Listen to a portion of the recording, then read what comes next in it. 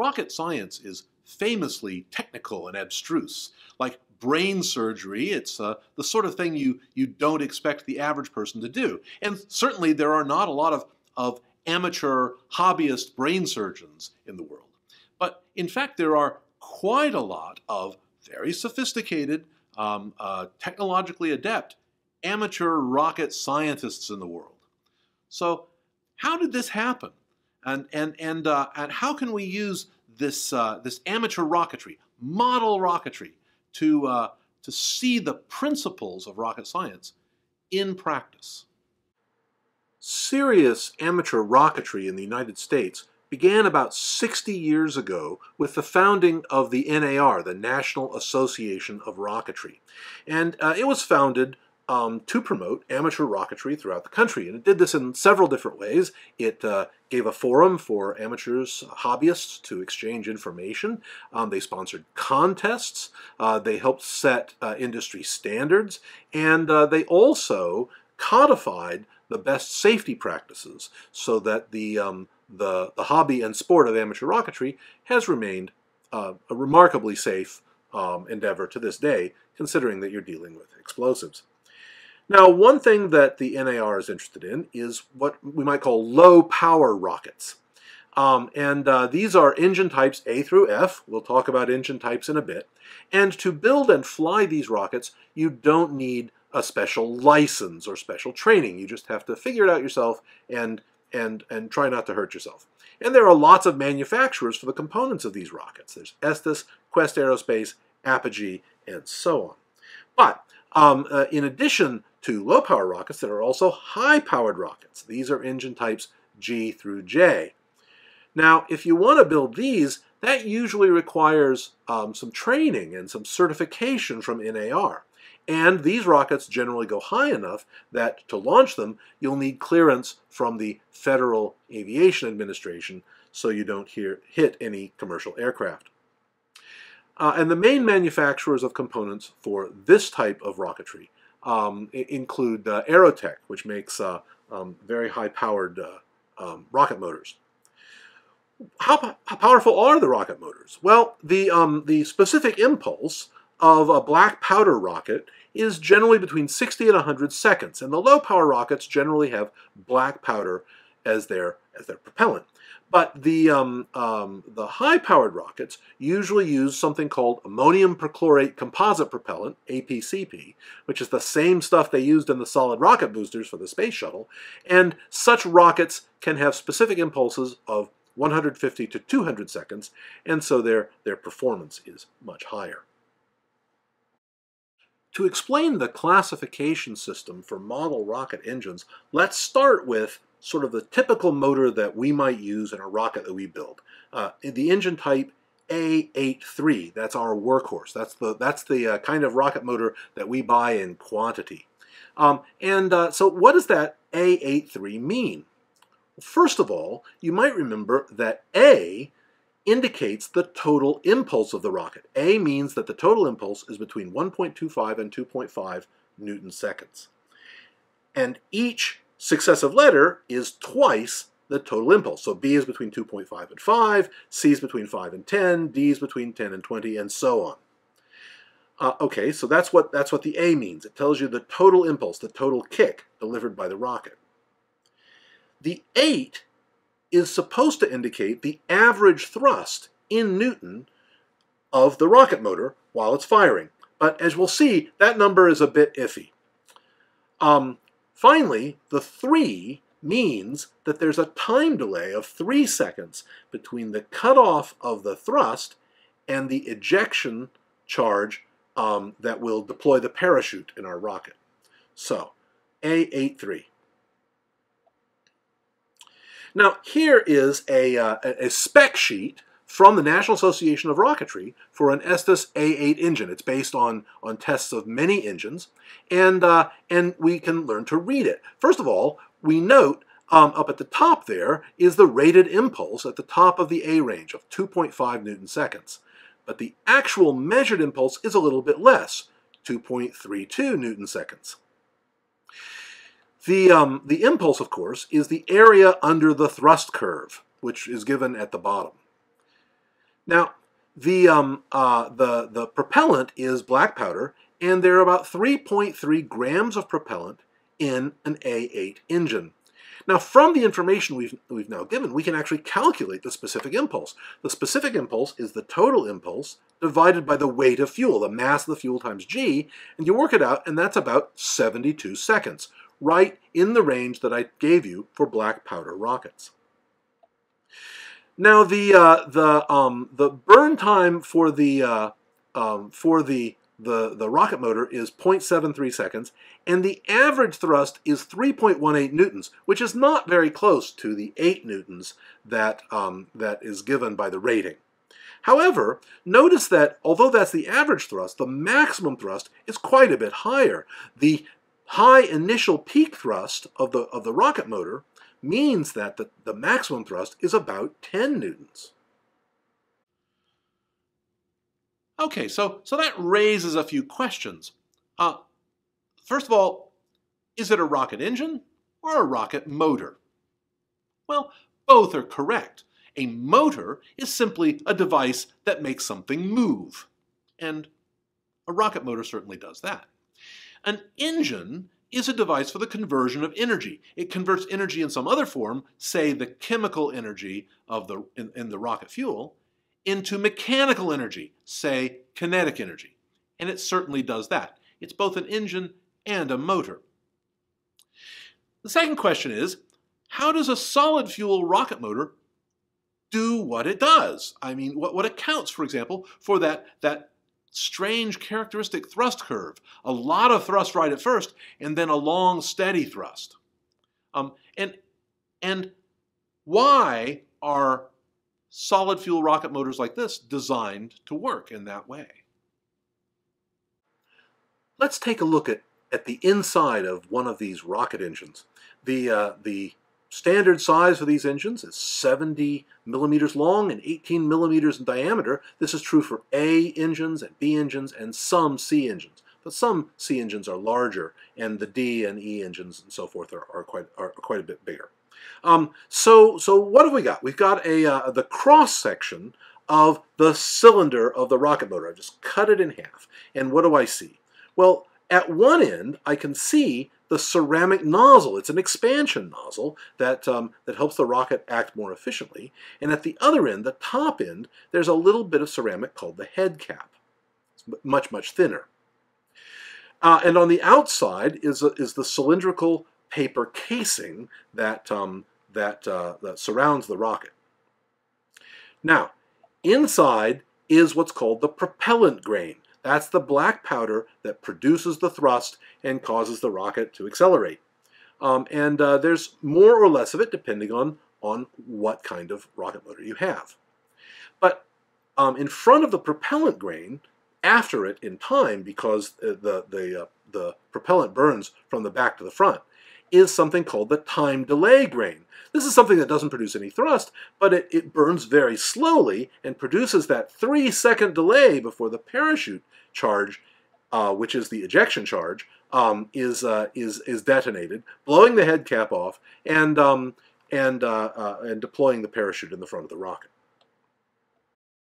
One important um, uh, characteristic of the engine is the way that the propellant is configured inside it.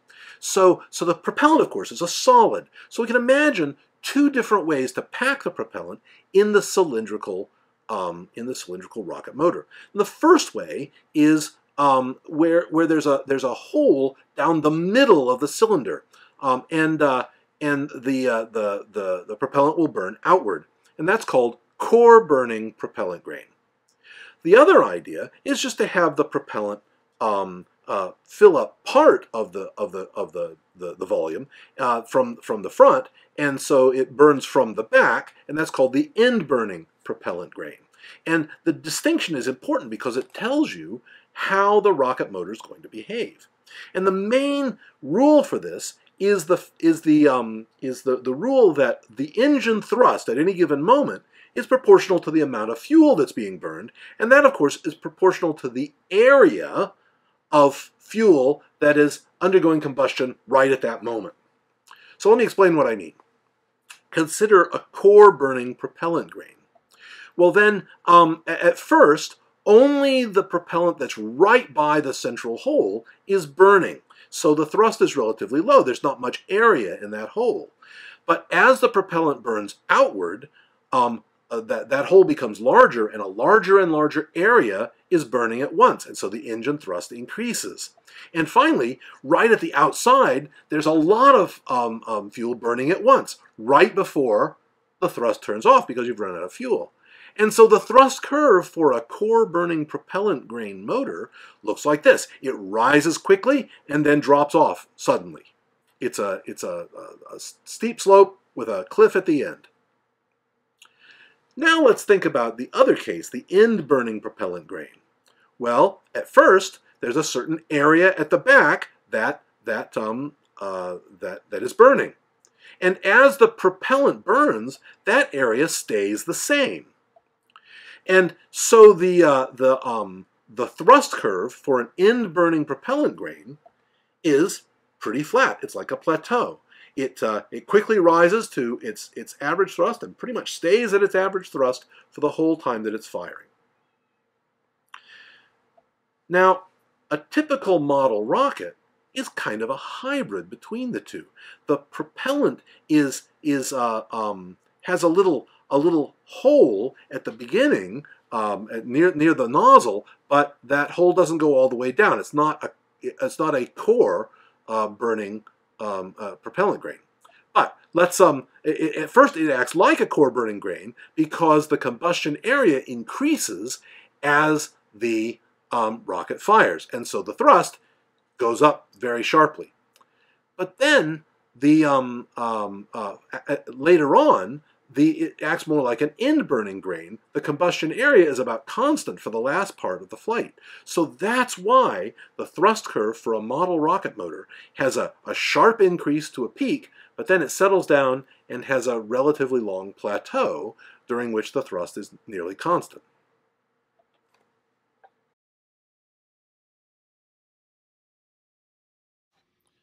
Now let's put that rocket motor in context we're going to explore the anatomy of a simple model rocket. Now, it may be made of paper and balsa wood and plastic, but nevertheless, it is an interesting piece of technology based on important principles. And there are lots of things that have to work together to make the rocket fly properly. Let's start at the outside of a typical rocket. So we, uh, we have at the front end a nose cone, and this nose cone is actually detachable. It's not glued on. As we'll see, the nose cone actually will come out during flight. And then behind it is a long cylindrical body, uh, usually a, a paper tube, though you can also use plastic. Attached to the body at the back end, for reasons of aerodynamic stability, are the fins, usually three or four of them, usually um, uh, uh, balsa wood or, or also sometimes lightweight plastic is used. There at the back is the engine peeking out. We'll talk more about that in a minute. And then on the side is a little cylinder, like a little piece of, of a drinking straw, called the launch lug. And this is going to have the launch rail uh, passing through it, so so the um, uh, rocket can be guided as it's being launched. And that means, of course, that the launch lug should not be in line with the fins because uh, a little steel rod is going to have to go through it. Now let's look at the inside of the of the uh, rocket body. Um, there on the back, the engine is actually inside something called the motor mount assembly. Uh, and it's a, um, a little bit complicated um, it, it, always includes uh, one or more centering ring because the diameter of the rocket motor is usually considerably less than the diameter of the, of the rocket itself. And it also has a little metal clip that will hold the rocket motor in place as it fires and as it fires its parachute ejection charge.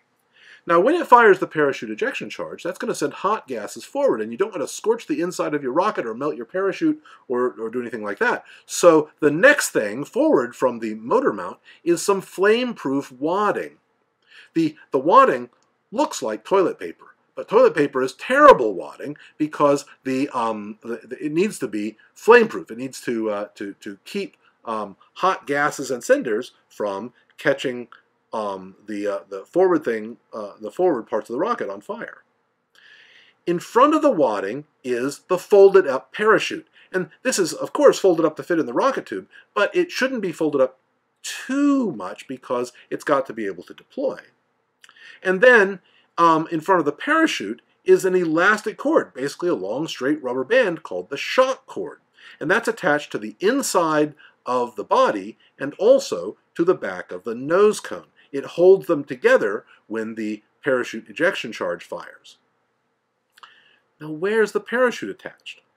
Well, the easiest thing to do is actually to attach the parachute to the middle of the shock cord. And that means that when the, um, when the uh, uh, nose cone is, um, is pushed out by the, the ejection charge, then the, the parachute will come with it, and the two parts of the rocket, which are held together by the shock cord, um, will, uh, will come down um, easily. So here is a, uh, a rocket that was built by a group in a previous iteration of this course. Um, and, uh, and we can see some of the characteristics. We can see uh, here's the, uh, the motor mount with the motor clip in the back. Here are the fins. They're made of plastic in this case. Here's the body, the, the launch lug, um, glued on a little crooked, but it still works. Um, the, uh, uh, up here is the nose cone, which detaches. And now you can see inside, you can see the shock cord, which is uh, basically a rubber band. And, um, and we can also see the parachute shroud lines. Uh, they're attached uh, in, in this design to the, uh, to the nose cone. And then in here, if we just pull it out, is the parachute. Okay, so much for the layout of the rocket. Now we need to talk about how it works. Let's think about the flight profile of a, of a typical model rocket flight. Um, what are the events that take place, and in what sequence, and, and how are they related? Well, the first part of the flight profile is the launch and powered ascent. Once we ignite the rocket motor, usually by an electronic device, then it is, it is um, uh, accelerated upward for um, perhaps a fraction of a second, perhaps a, a few seconds, until it comes to a point where the engine cuts off. Now, during this part of the flight, uh, control of the rocket is provided first by the launch rail, that gets it going in the right direction, and then by aerodynamic stability, by the effect of the, of the fins, the, the, the stabilizing uh, lift forces from the fins. And that's why model rocket motors are designed to give a lot of thrust early is to get the rocket accelerated to a high enough speed so that so that the um, the lift forces can maintain its stability. Now, after the uh, after this stage comes um, a, uh, a, long period of free flight, where the rocket just flies through the air, subject to gravity and to drag, and uh, uh, and then there comes a moment where the parachute ejection charge um, fires and the parachute deploys. Now, where that happens on the, uh, on the flight profile is very important. You don't want it to happen when the rocket is still going upward very fast. That would just sort of suddenly slow the rocket down, and, and in fact, the parachute might rip off. And you also don't want it to deploy when the, um, when the rocket is falling quickly down toward the ground for the same reason. And you certainly don't want it to deploy after the rocket hits the ground. So the timing of the parachute ejection charge is crucial. And finally, after the parachute is deployed, the, the rocket drifts down on the, on the parachute much more slowly than it went up. And uh, this means, of course, that if there's a, if there's a, a crosswind, it can be carried um, some considerable distance. So when you're uh, launching a rocket, you need to have plenty of room around you. Flying model rockets is fun and worthwhile all by itself. But maybe we want to do more. Maybe we want to test the rocket, to make measurements of its flight, to, uh, to um, uh, help understand the principles. Well, some of that we can do just by standing on the ground. We can observe its trajectory and so on. But to do more, we, we might need the rocket to carry our experiments. We need our rocket to have a payload. if you think about it, the only place to, uh, to put a payload compartment in your rocket is actually as part of the nose assembly. That way, the payload won't get in the way of the parachute ejection charge and will not prevent the parachute from deploying. So the payload compartment comes out with the nose cone at the end of the shock cord. And, um, and, and once, you, uh, once you have have a payload compartment, you can do all kinds of interesting things. Now, of course, we can make observations of the rocket launch using, say, a high-speed video camera um, and, uh, and find the acceleration and so on. But with instruments aboard the rocket, we can find things like the altitude of the rocket. We can get that by ground observations, but it's a lot more fun to get it using an electronic altimeter. Um, and there are several that are made specially to be carried by model rockets. And if we're ambitious, we could also put a video camera on board and get a video of what it's like to ride a model rocket up into the air. Here are a couple of examples of those instruments. This is an electronic altimeter. It will actually record the altitude of the rocket using barometric pressure uh, several times a second during the rocket's flight. And that will let us sort of trace out its, its trajectory, at least in the vertical direction. And, and this, this is a video camera. We can uh, uh, mount this in a transparent section of the rocket's uh, body and, and uh, um, take, a, take a video of the rocket in flight. Uh, this one we actually, we actually flew in a previous, uh, in a previous year. An extremely useful tool for um, designing and understanding the behavior of model rockets is the software package Open Rocket which is a rocket design program, and flight simulator. Um, it's, uh, it's free. It uh, works on both Windows and, and Mac computers, and it, um, uh, and it, it, it really um, um lets, you, uh, lets you do a lot of sophisticated stuff.